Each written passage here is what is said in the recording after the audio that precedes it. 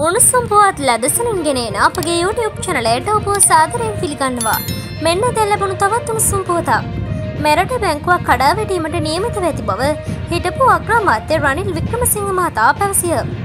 අදාළ බැංකුව කඩාවැටීමත් සමඟ එහි තැන්පතුකරුවන් මෙන්ම රජයේ පාර්ශවයන්ටද විශාල පාඩුවක් සිදුවන ඇති බවත් එය ගොඩ ගැනීමට මෙවන් අවස්ථාවක් ඇති හැකියාව ගැනත් සොයා බලන්නේයි ඔහු ඉල්ලා සිටියය.